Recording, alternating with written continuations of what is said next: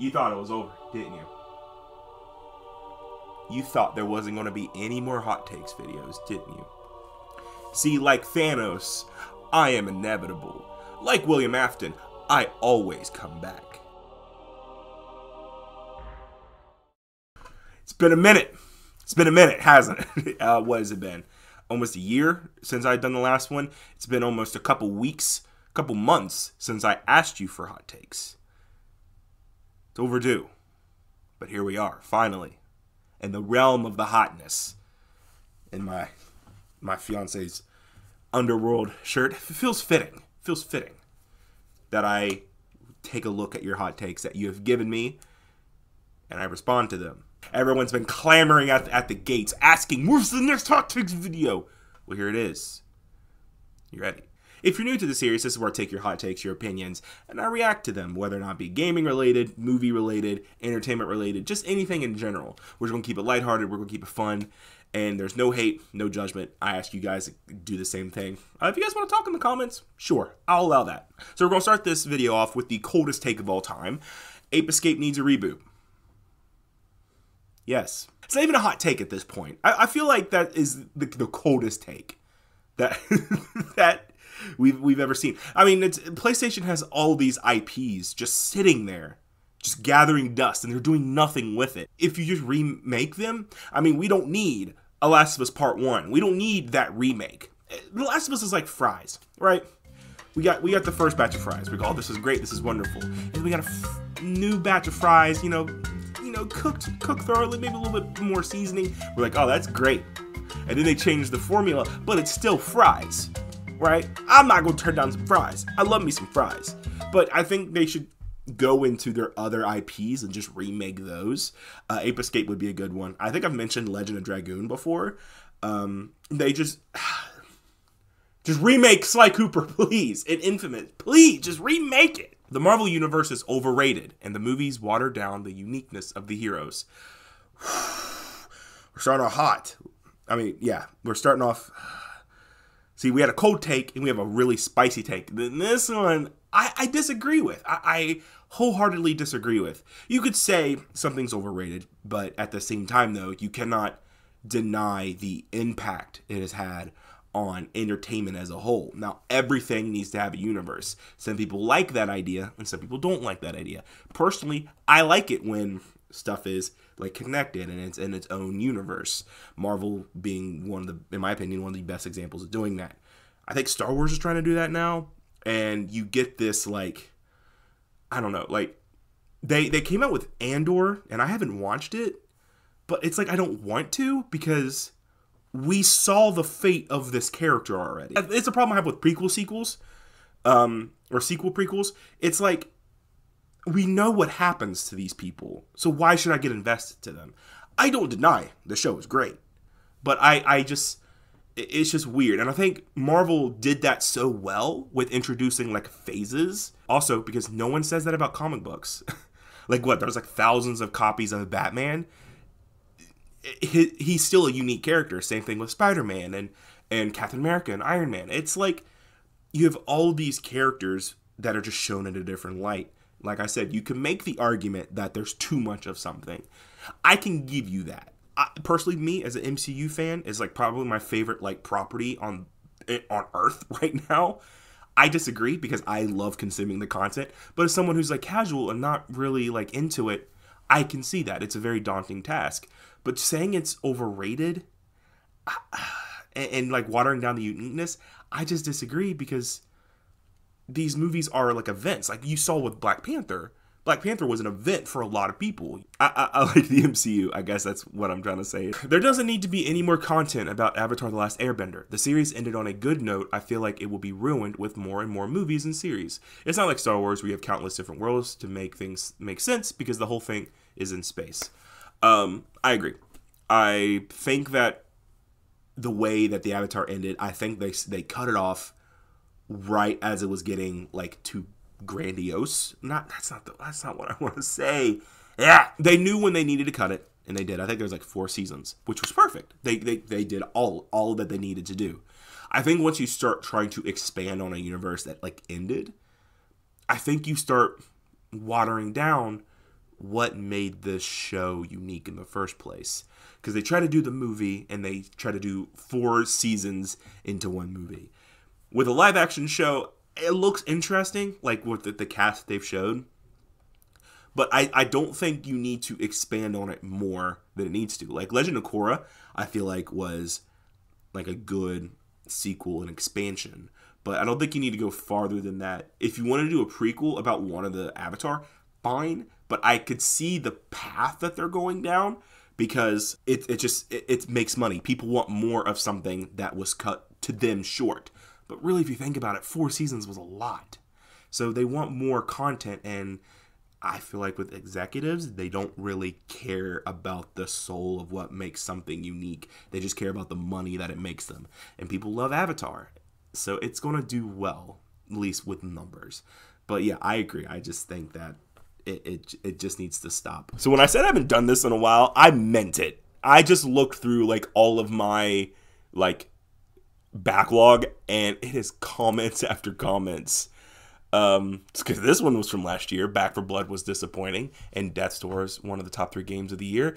Yeah, this was like this was like in 2021. I'll respond to these because why not, right? We're cleaning we're cleaning these up. So this guy he says that Back 4 Blood was disappointing. I agree. Back 4 Blood was very disappointing. Uh, Death's Door never played it, uh, but I said I was gonna do a top 10 games of 2021. I can't make that list. I actually tried, but then my footage got corrupted. So if you want to know my top 10 games of 2021, they're right here. At me. This is a cup this is a couple. This is a couple we got here from the same person.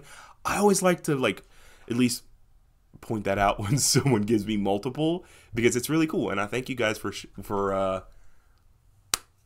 giving me multiple. He's All That was a good movie and did not deserve all the hate. It's for kids. I have no idea what that movie is. Uh, it sounds familiar. I think it might have been a Netflix movie with Addison Rae. I think people hated it just because it was Addison Rae and not that they thought it was a bad movie because those kind of movies just aren't really made to be like great films. They're meant to be entertaining. And I feel like movies is something that not every it's like music. Not every single piece of that medium needs to be this like genre defining award winning film. Some people just want to make movies and music just for the sake of doing it because they enjoy it and they think people would like it. People need to get over themselves. We both agree that the Resident Evil movie was awesome. Not sure if that's a hot take. That is a hot. Well, I think that is a hot take a little bit because usually the the new one that came out last year, like I said, these are from last year that I never did. Um people I don't think like the movie. They thought it was okay. Like, but if you thought it was awesome, I, have heard people say that was really good. I've also heard people say it was really bad. So it's not really like one of those things. Like I've seen both. Now, if you said like the show was awesome, then that would be like, well, that's a hot take because people generally do not like that. But in this instance, like it looked good. I never watched it because I was like, I'll wait for it to go on like a streaming service or something. But I was, I heard it was okay. Like, and that's just one of those things that people really enjoyed. Whoa. Okay. Um. So y'all know David right? My boy, my brother. I love that man. If you guys are familiar with the Zelda playthrough I did, he was in that. Me and him did it the whole thing together. It's one of my favorite things I've ever done in my history of YouTube. He said he thinks Breath of the Wild looks disappointing. My brother in Christ. As of now, we've had two trailers. I can see where he's coming from because I don't. I'm. Tr- I'm I, I don't know if I can see where he's coming from because it just looks like more Breath of the Wild, which was great. But if they're doing like a different thing with the timeline, then I can I can kind of see how it looks disappointing because I don't think at this point when this was said that second trailer came out where they kind of showed more gameplay for it um, or just the, the, the whole like cinematics and stuff. I don't think that came out yet, so I'm trying to get in my mindset of like where we were this time last year.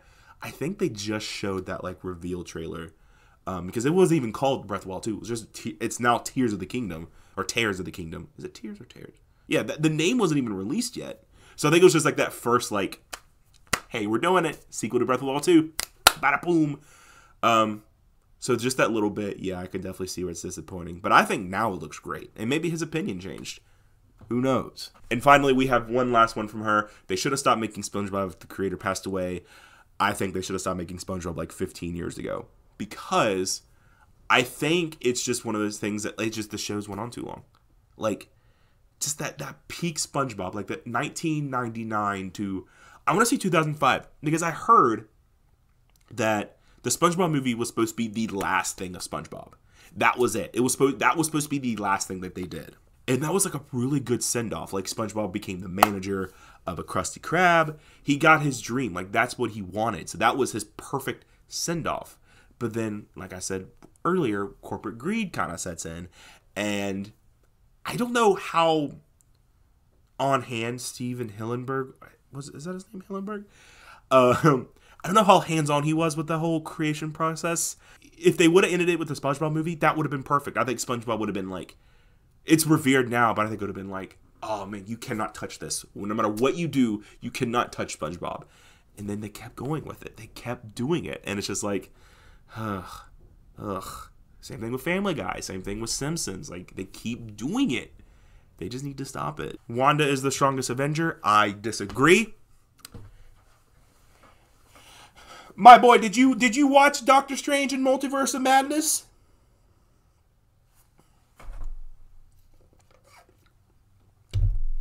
My boy Steven was on demon time. Literally. Someone said Bloodborne was trash. Damn. That is whew. That's that that mm. Uh, I think I've talked to him since and I think he I think his opinion on that whole thing has changed. Like I think he now thinks Bloodborne is okay, and it's all right. You don't have to like you don't have to like something. I think you're wrong. Whew. All right.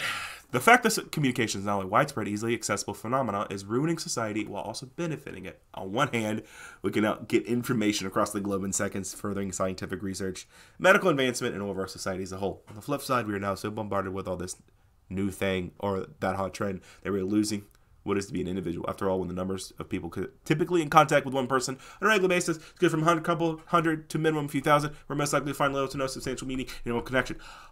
Whoo! All that just to say I agree with you.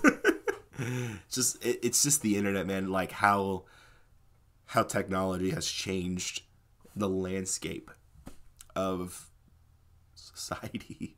I, I think I already said society like 15 times already, but I mean, if you really think about it, the human brain wasn't wired to just sit there and just get all this content at once. I'm a victim of it. I'm also I'm also in that web too. I think everybody is as much as people can sit there and be like that's not me, that's stupid. I, we're all addicted to it in some way shape or form it is now so ingrained in us that you almost cannot operate without the internet and without communication or without a cell phone just to be able to just to get on your phone and look up anything. Like our phones are smarter than the computers that were used to put a man on the moon. That should put in perspective for you.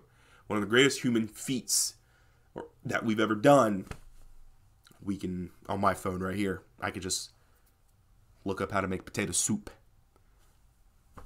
like that that would melt their minds back then. They couldn't comprehend. If I would go back with a cell phone to George Washington and just be like, hey, big dog, there you go, he would probably shoot me on sight. Probably on top of other reasons. But the, the cell phone, the, the moving pictures also, I don't think would help my cause much. So that's it. That's all the hot takes I can find. Um, thank you guys for waiting, for waiting so patiently for these, for this one in particular. It's a little longer than I wanted it to be, a little bit more like out there, not as cohesive as I wanted it to be. But thank you. Thank you for your hot takes. Thank you for, for example, that last one, that was a paragraph thank you for it because it's it's a it's an opinion and I love hearing people's opinions and hot takes as long as it's not like harmful or hurtful anything like that. It, it, this is all fun. This is all just fun. This is all to, to, to talk and just just to react. I'm also farming content off you. they won't admit it, but I will. I've always said I'll be honest with you. So yeah, Thank you guys so much for watching. I'm, I apologize. I'm also sick. Been sick for a couple days, but that's why I, like I had to like cut it, and this maybe seems like some weird edits, but thank you. As always, like if you have any more hot takes, any more comments, whatever, leave them in the comment section down below. Follow me on Twitter. Go to my Facebook. I always post these questions. I get people all the time being like, ah, damn, I missed it. Ugh! You wouldn't have missed it if you would have followed me. And subscribe. Subscribe to the channel to get more content like this. Ugh. I'm going to go now. Bye.